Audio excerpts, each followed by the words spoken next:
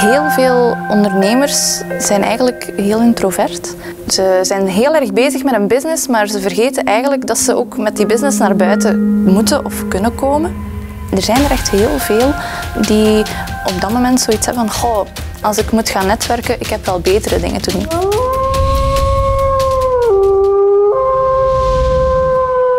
Enerzijds help ik ondernemers bij het verhogen van verkoopcijfers, dus ik ga eigenlijk verkoopstraining geven. En uh, anderzijds uh, wil ik dan die ondernemers ook met elkaar gaan verbinden.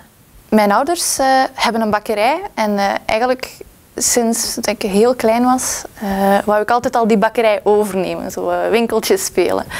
Uh, ik vond dat fantastisch om hen bezig te zien. En ook soms in moeilijkere tijden, hoe het daaraan toe ging. Uh, dan wou ik hen ook alleen maar helpen. en dat is eigenlijk zo, zo mijn drijfveer achter, achter wat ik nu doe.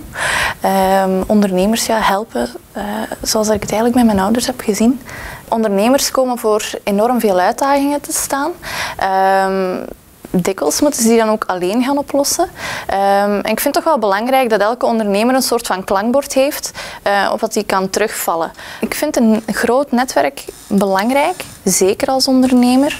Um, omdat je niet zelf alle kennis kan hebben om je zaak tot een succes te maken. Je gaat altijd wel een keer voor een probleem staan. Al is het met personeelsbeleid, al is het met social media, al is het met verkoop bijvoorbeeld.